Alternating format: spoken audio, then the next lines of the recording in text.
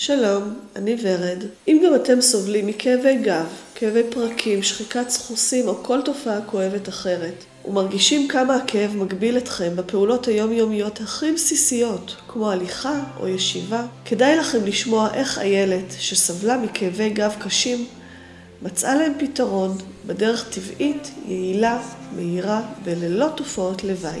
גם אתם יכולים כמוה להפסיק לסבול. פשוט תירשמו וגלו את הסוד של איילת.